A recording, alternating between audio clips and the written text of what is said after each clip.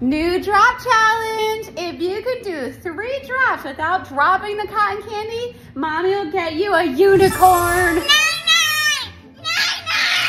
Nine, nine!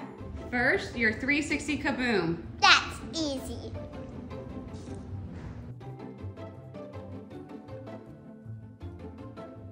Three, two,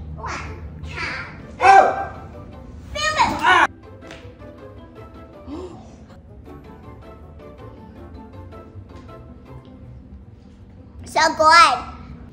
What are you doing? Strategy. Next, your cartwheel drop. Okay. You know what? It's not cheating. It's playing by the rules. Three, two, one. Oh! Nailed it. Last but not least, your pencil start. I'm getting that unicorn.